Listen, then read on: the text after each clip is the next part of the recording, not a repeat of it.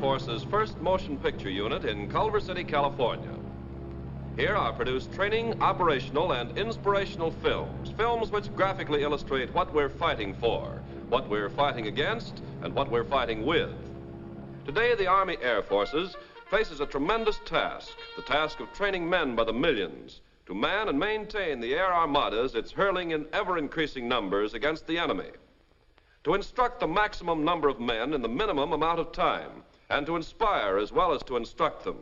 The Army Air Forces has adopted many novel educational methods, has activated many specialized organizations such as this. Mainly from the motion picture industry come the men of the first motion picture unit. They are men of all crafts writers, directors, cutters, electricians, cameramen, sound recorders. Men who've been carefully chosen from among the most proficient film technicians available. Men who've had long years of training and experience in the art and science of the motion picture. And while these men are making movies for the Army, the Army is making soldiers out of them.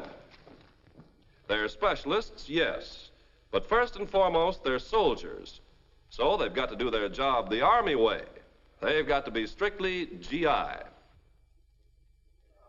From directive to finished film, the course of an Air Force motion picture project is charted and checked by the production office. Here, the shooting script is broken down, converted into terms of money and minutes, men and materials. It is the production office which coordinates and expedites the operations of the many different departments that make up the first motion picture unit. Of all the weapons of World War II, none has proved more effective than words. And words are particularly potent when used by the Army motion picture writer. For his medium is a young and vital and compelling force, one whose possibilities for visual education are endless, still virtually unexplored.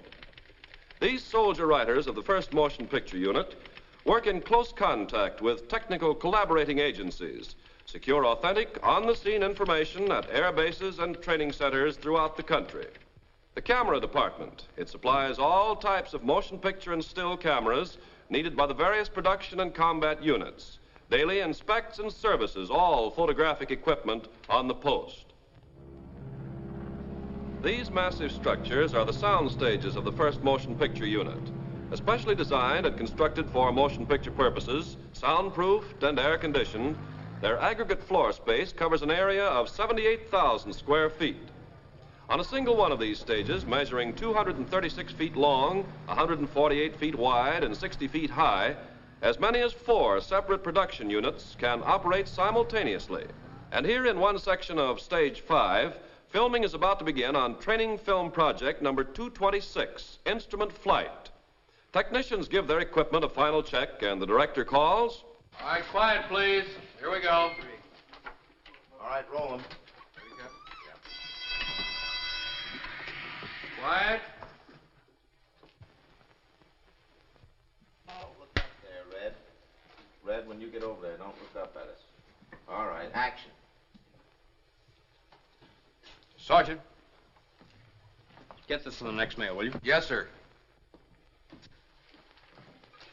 All right, got it. That's what happens when a project reaches the shooting stage.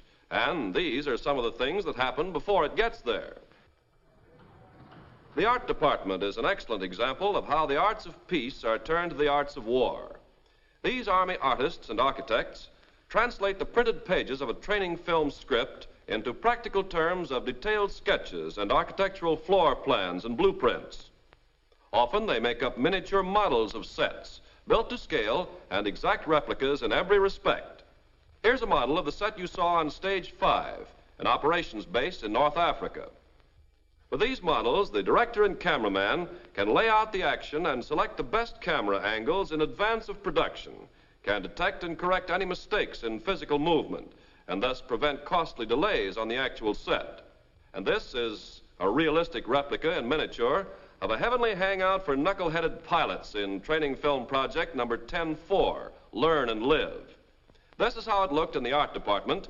This is how it finally appeared on the screen. Hello, Joe. Now, look, Peter, I'm a busy guy. I'm teaching men how to fly, and you call me up here again. I don't like to bother you, Joe, but I'm pretty busy myself. That's why I sent for you. Pilot's heaven is getting too crowded. I can't accommodate them all. This place is getting as bad as a Washington hotel. This precise pre-production planning in the art department saves precious man hours and materials, enables the first motion picture unit to turn out training films that are economical as well as effective. And here's another model, a squadron headquarters somewhere in the South Pacific.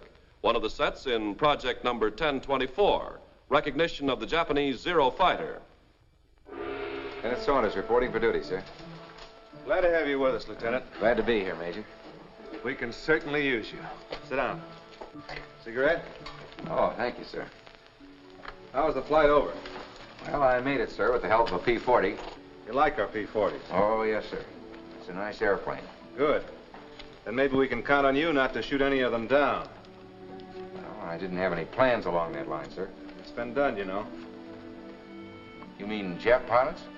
I mean American pilots. Men with as much enthusiasm for the P-40 as you have, but with an unfortunate lack of ability to tell a friend from an enemy.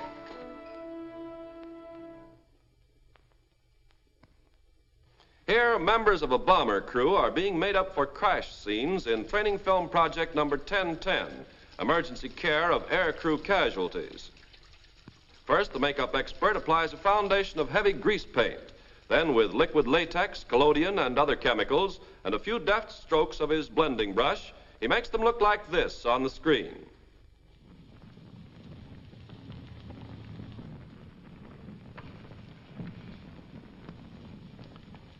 Not many months ago, these serious soldier artists were the merry men whose pens put life and laughter into Mickey Mouse and Donald Duck and Barney Bear. Today, they've turned their talents to technical things, things like thrust and torque, the trajectory of a bomb, the inner workings of intricate flight instruments, things which the student airman must know and which the animated sequence in a training film can best help to teach him. Complex operations or minute mechanical details that the camera cannot capture in actuality are graphically and authentically illustrated in the drawings of these artists. When the drawings are put through the animation process, a highly technical operation whereby the original sketches are reproduced with painstaking precision on thousands of transparent celluloid sheets, and when eventually they are photographed in stop motion, frame by frame, against any background desired, they effectively simulate live action. The adaptability of the animated sequence to the most complicated technical subjects is best shown in this scene from project number 389, straight and level flight and effective controls. Here, the animators have recruited their funny little peacetime pals to explain the theory of flight in a simple, amusing, easily understandable manner. Air resistance brings drag into the picture. Drag's not a bad little guy, just sort of a windbag, that's all.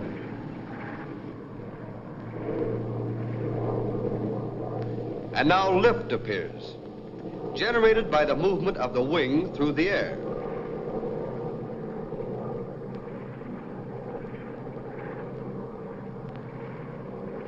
Last but far from least is the ever-present force of gravity, the gross weight of the plane and load.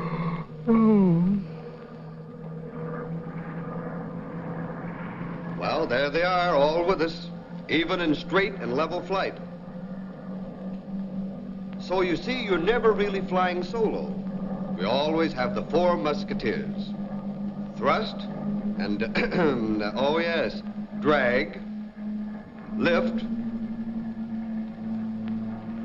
and, uh, gravity.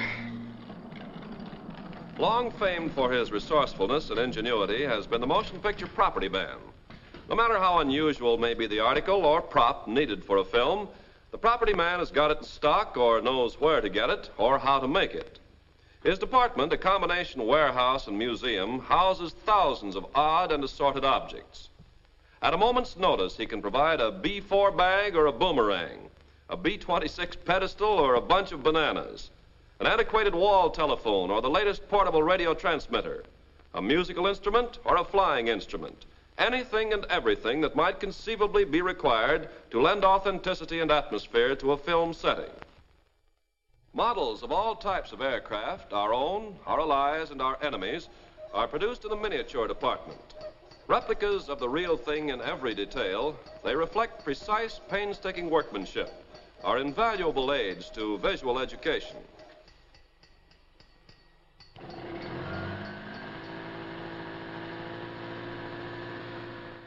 Moving the men and equipment that make the movies, moving them to the right place at the right time and right away, that's the task of the motor pool. Its personnel and rolling stock must be ever ready to move and move fast, for production units are constantly going on location trips throughout the country, and combat camera crews are always leaving for maneuvers. The flow of traffic through these gates never ends, and neither does the job of the men who keep that traffic moving. This is the back lot, one of the most valuable of all the physical facilities acquired by the Army Air Forces from a famous film studio when the first motion picture unit was organized. Sprawling over several acres, it contains countless movie sets of all descriptions, represents a tremendous investment in building materials and highly skilled labor. Many of the same construction experts who built these sets in peacetime are now, as members of the first motion picture unit, converting them into the variety of exterior settings needed for Air Force films.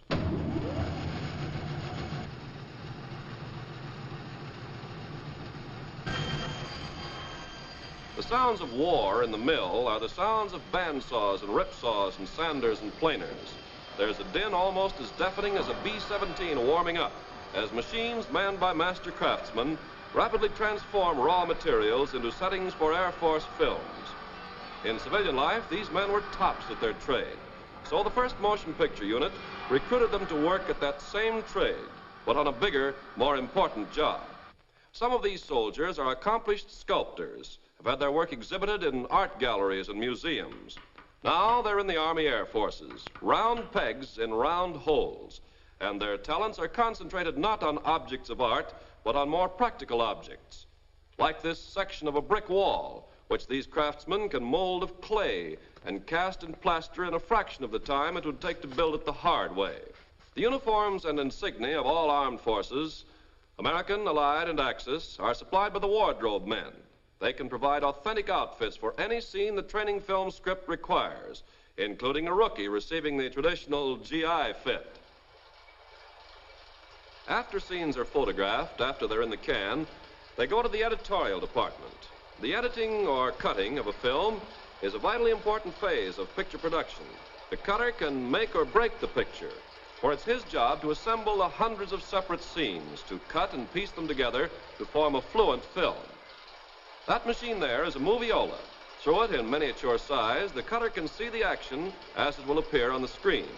By inserting a scene here, deleting one there, the cutter can heighten the dramatic value of a story, can stress the instructional points more effectively.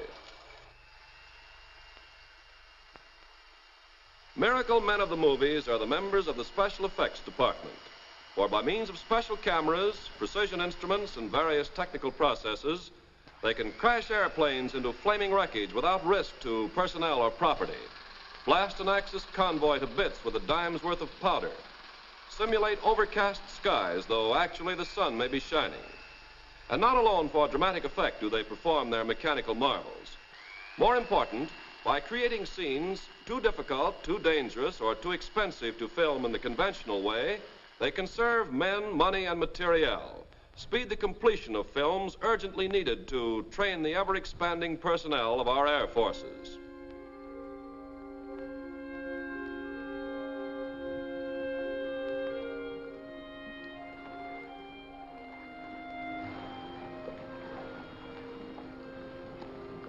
How's the transmitter look to you, Sergeant? Well, it was all right when we started, sir, but in the scramble, it's. Besides that, the kite and antenna balloon are gone, too. Maybe I can fix it. This is just one of the many sections of the sound department.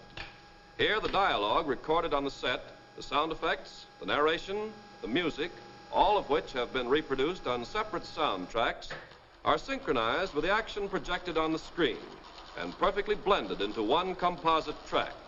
And now, the most important sound of all the music. The music that sets the mood, creates and maintains suspense, provides punctuation and emphasis.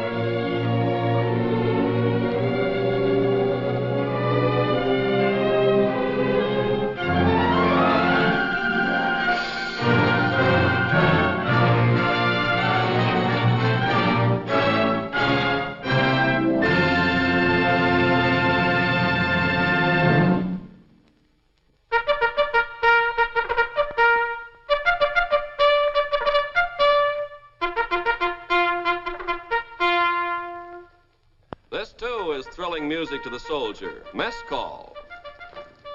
At 11:30 hours promptly, oh, very promptly, the men of the 1st Motion Picture Unit stop their morning's work and line up for chow. Like American soldiers everywhere, they grumble about the food and loudly demand second and third helpings. The cooks and butchers and bakers are experts at their trades, too, and they're no less important to the efficient operation of this unit than the cameramen or the writers or the electricians. This is another vital function of the 1st Motion Picture Unit the training of combat camera crews to photograph the Army Air Forces in action, in the air and on the ground, in all theaters of war. These men are handpicked both for their ability as soldiers and their skill as motion picture technicians. To perfect their camera technique, they receive advanced instruction in all phases of aerial and ground photography with all types of equipment.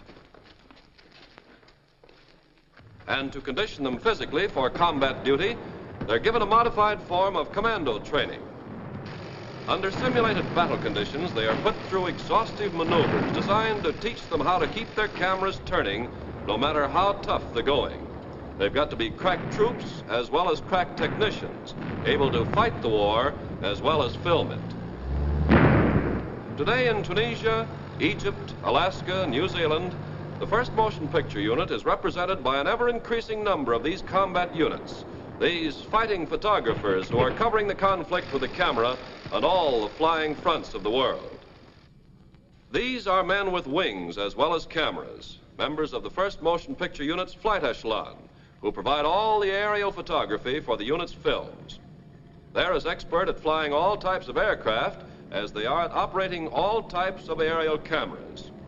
Many of these men worked at the film as you fly trade long before there was ever a thought of war. And since they've joined the 1st Motion Picture Unit, they've perfected that trade under wartime conditions. No matter how difficult or dangerous may be the aerial sequence required for a training film, the flight echelon can supply the camera planes and the flying photographers necessary to shoot that scene quickly, authentically, realistically. The quality and effectiveness of the flight echelon's work is illustrated in these air scenes from recent training films.